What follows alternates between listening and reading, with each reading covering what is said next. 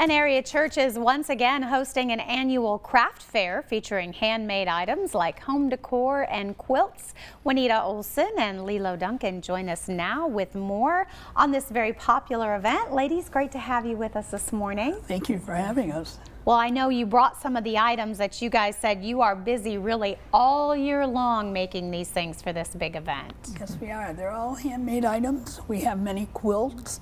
We have lots of decorations type thing. We have clothing. We have baby items. We have hats. You name it, we have it. We start in uh, November and we work through till the following October.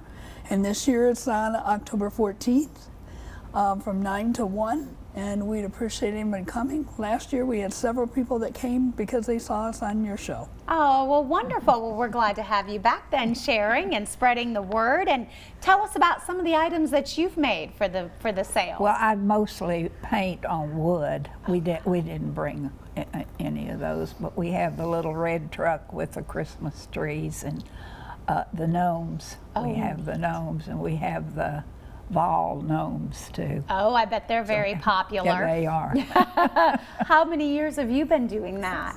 31 years. 31 years, and we actually have some pictures of some of that work.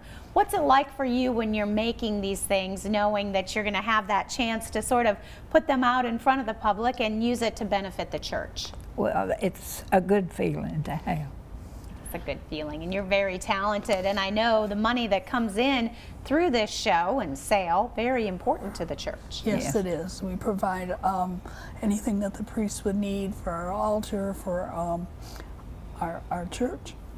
We help in all. In our, we have a bake sale uh, members of the parish, they provide baked goods for us to have, and that's a big part of our sale also. I bet they make some good stuff. They, they do. Both of their eyes got really big when they said that. Yes. Yeah, so, and this is a, a, lot for people to see. I mean, you guys really go all out. Yeah, yes, we, we do. do. We fill our basement of the church with all the items that we have for sale, and each year it just seems like it gets larger and larger. I bet it's a lot of fun too. It is. It is. It's a lot of fun getting together with all the the people. Lilo's one of our oldest members, and um, she keeps us all in line. Oh, okay. So somebody has to. Right, right. I saw that wink, wink. It's a tough job, isn't it? Yeah.